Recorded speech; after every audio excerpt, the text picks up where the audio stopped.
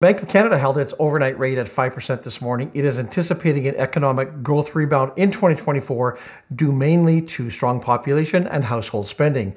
Also on today's program, Nadine Ahn's termination as CFO at the Royal Bank could lead to massive financial losses.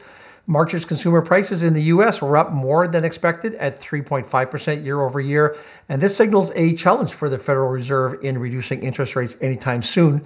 Provincial regulators in Canada are scrutinizing exclusive deals between insurers and pharmacies and are seeking regulations to prioritize patient care over business interests and Canadian residents owning iPhone 6 and 7 models are eligible for up to $150 compensation as part of a class action lawsuit settlement with Apple for software issues.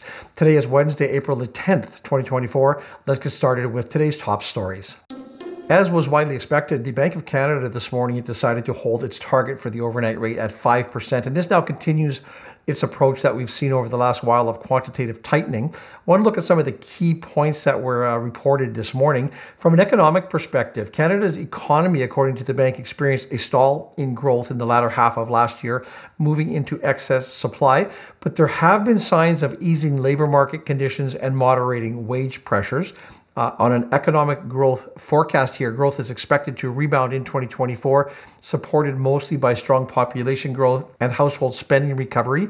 Um, overall, the bank forecasts GDP growth 1.5% in 2024, 2.2% in 2025, and then 1.9% in 2026.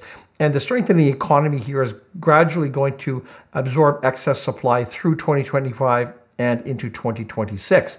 Now, on an inflation trend here, the CPI slowed to 2.8% in February with broad based easing in price pressures. The bank anticipates inflation to be close to 3% in the first half of this year, with a decline expected in the latter half, and then target inflation rate of 2% to be reached in 2025 at some point. They also talked about their global economic outlook, and the global economy, according to the Bank of Canada, is expected to grow at a rate of about 3%, with the U.S. economy showing resilience through strong uh, consumption and business spending. The bank has adjusted its global GDP growth uh, forecast upwards for the upcoming years. Now, from a financial conditions perspective, despite the higher bond yield since January, the bank is saying that the overall financial conditions have eased, um, helped out by narrower corporate credit spreads and a rise in equity markets. Global oil prices have also seen an increase. So the, the governing council here, it says that it is going to continue to monitor core inflation, the balance between demand and supply, inflation expectations, wage growth, and corporate pricing behavior, and it reaffirmed its commitment to restoring price stability for Canadians. The next updates, a little while here, a little bit of a wait. The next overnight rate target will be announced on June the 5th, 2024. And a comprehensive economic and inflation outlook, including risks to the projection, will be published in the Monetary Policy Report, which is due out on July 24th, 2024. The firing of Nadine Ahn, who was the former now CFO at Royal Bank, this has the potential for massive financial losses for her. I reported here on Monday that an internal investigation at the bank revealed that she was involved in an undisclosed close personal relationship with another employee, and that relationship uh, resulted in preferential treatment, including promotions, compensation Uh, increases for that employee. So as a result, both of these employees were terminated. Now, here's how the incident might affect her financially. When we look at the reason for termination, RBC terminated Ahn for contravening the company's code of conduct by engaging in an undisclosed personal relationship with a colleague that led to a perceived preferential treatment. Now, there's a difference here between with cause and without cause. And while RBC didn't explicitly state that Ahn was terminated with cause, the uh, implications of her actions suggest she could lose entitlements, which are typically preserved for a without cause uh, termination scenario. For example, being terminated with cause that would mean that she would stand to lose significant compensation, including uh, no cash severance, no bonuses, and all unvested stock options and performance shares. If her termination were considered without cause, she would have been eligible for a cash severance estimated at $2.56 million, with awards continuing to invest.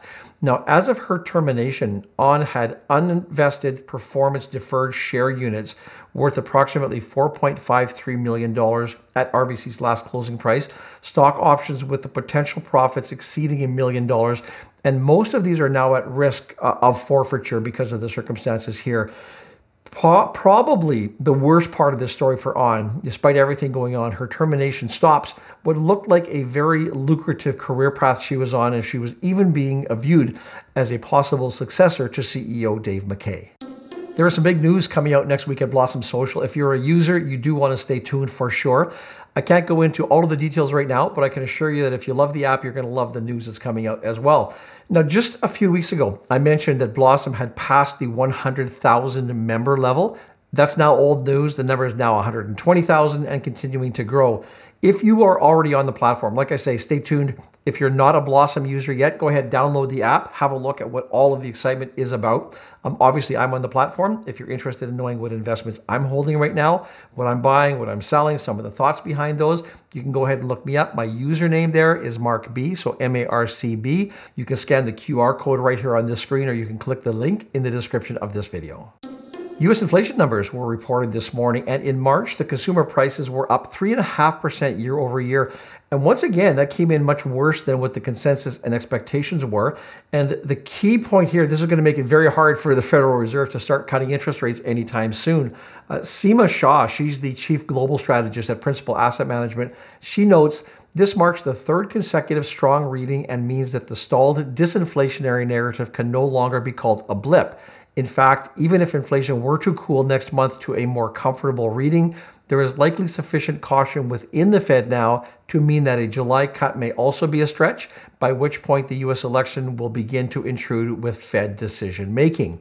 When we look at the details of this morning's announcement, start here with energy prices, and the prices in, in the energy sector climbed by 1.1%.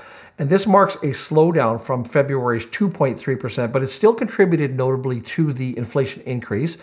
Um, shelter costs, always important. They account for about one third of CPI's weighting. They rose by 0.4% for the month, and they had a significant 5.7% year over year.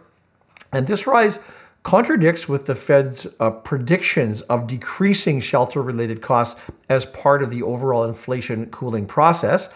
Uh, food prices, not bad. The overall food prices increased modestly by 0.1% for the month, so that wasn't uh, too bad there. Um, used vehicle prices, in contrast to a lot of the other categories, prices for used vehicles actually fell by 1.1%, and that sort of offers a distinction from the broader inflationary trend overall. So you have to look at how this report will affect Jerome Powell and his, his team there at the Fed. Liz Ann Sonders, she is the chief investment strategist at Charles Schwab, and she says there's not much you can point to that is going to result in a shift away from the hawkish bent from Fed officials. June to me is definitely off the table. Now, as of this morning, the CME FedWatch tool, it has the odds of a 25 basis point rate cut in June at only 20.5%. Insurance regulators across Canada are getting more and more concerned about exclusive deals between insurers and pharmacies, which are known as preferred pharmacy networks or PPNs. And this comes after Ontario has initiated a move for stricter regulations. The deals, particularly now highlighted by what has now been canceled, the arrangement between Manulife Financial and Shoppers Drug Mart that was um, out. We talked about it just uh, a month or so ago. These have sparked the debate over the prioritization of business interests over patient care. When this is looked at from a regulatory concern perspective, there are several provinces that are exploring now ways to restrict or regulate these PPNs following Ontario's lead. They cite the need to preserve patients' choice and to prevent business interests from overshadowing patient care. Uh, these are growing. PPNs have become more prevalent. Uh, they've been drawing scrutiny for limiting, especially chronically ill patients, to purchasing certain medications exclusively from specified pharmacies. So, this raises questions about the patient's autonomy and, of course, their access to care, which is so important here.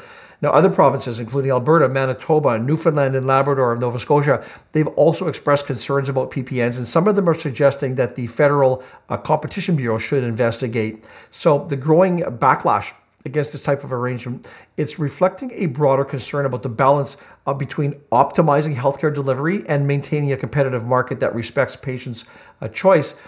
As provinces are considering their regulatory responses here, the conversation just really underscores the tension between healthcare as a service and its commercial aspects in Canada's mixed public private healthcare system. Canadian residents who have owned iPhone 6 and 7 models are now eligible to submit a claim as part of a class action lawsuit settlement with uh, Apple. The settlement, which was approved by BC Supreme Court, it offers compensations for up to 150 bucks for those who are affected by certain uh, software issues. So let's have a look at some of the key points of the settlement. The BC Supreme Court, um, it has approved the class action lawsuit for up to 14.4 million dollar for eligible iPhone 6 and 7 users in Canada. Now this excludes Quebec residents. Quebec residents are subject to a separate class action lawsuit. To be eligible, individuals must have owned a, an iPhone 6, 6 Plus, 6S, 6S Plus, um, or SE, a 7 or 7 Plus running iOS 10.2.1 or later before December 21st, 2017, and they must have been residents of Canada uh, as of June 15th, 2023. Claims have to be submitted by September the 2nd and they have to use a specific online form. So claimants are required here to provide details uh, such as your name, your address, your phone number, email, and the 12 digit alphanumeric uh, serial number of the device that they were uh, looking for compensation for. The compensation details eligible claimants can receive between $17.50 and 150 bucks depending on the total number of claims that are submitted overall. Uh, payment options they include email money transfer or mailed check, although the exact payment date wasn't specified at this time. Now, Apple stance while they are agreeing to the settlement, they are denying any wrongdoing, any fault, or any liability related to the allegations. Again, big news coming over at Blossom Social next week. Stay tuned for that. Also, don't forget to subscribe to our Pulse newsletter that goes out every weekend. I will put a link in this video's description. You can join there. I'm here every Monday, every Wednesday. You might also consider subscribing to this channel. As always, thanks for watching the video. See you in the next video.